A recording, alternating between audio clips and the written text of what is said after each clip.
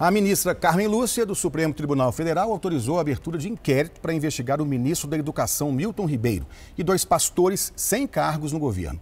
A suspeita é que o ministro favorecia os pastores na liberação de verbas. A decisão da ministra Carmen Lúcia, do Supremo Tribunal Federal, atendeu a um pedido da Procuradoria-Geral da República.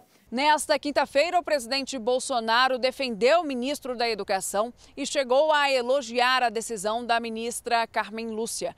Afirmou que a questão já tinha sido investigada há seis meses pela Controladoria Geral da União e, como não havia o envolvimento de servidor público, a questão já estava na Polícia Federal eu boto a minha cara no fogo pelo Milton, minha cara toda no fogo pelo Milton.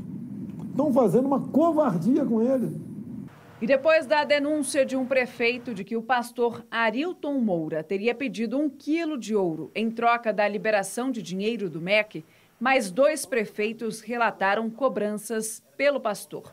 Os valores variam entre 15 mil e 40 mil reais. E tem também a compra de bíblias, como propina, para conseguir a liberação dos repasses aos municípios de Bonfinópolis, em Goiás, e Boa Esperança do Sul, em São Paulo. Pastor, é, gostaria de saber como que vai funcionar as demandas para os municípios. Ele falou assim, não dá para ajudar todos os municípios.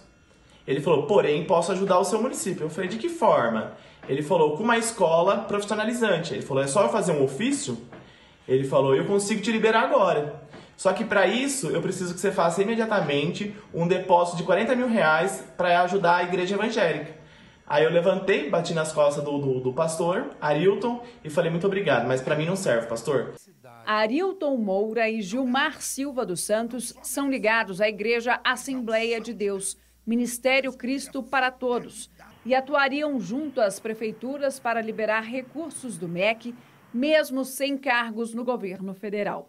O ministro da Educação, Milton Ribeiro, disse que os municípios representados pelos pastores teriam prioridade nos recursos e que recebeu os dois a pedido do presidente Jair Bolsonaro.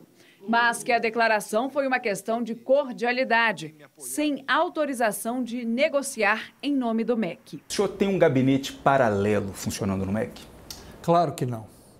Eu gostaria de deixar isso bem claro, que no MEC quem toma as grandes decisões sou eu, através do meu gabinete e dos especialistas que me cercam.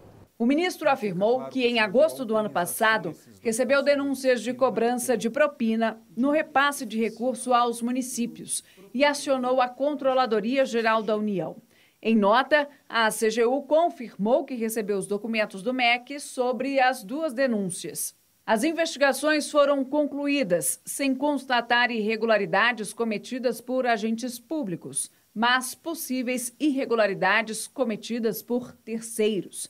Mesmo assim, uma nova investigação foi aberta. O pastor Gilmar Silva dos Santos se defendeu.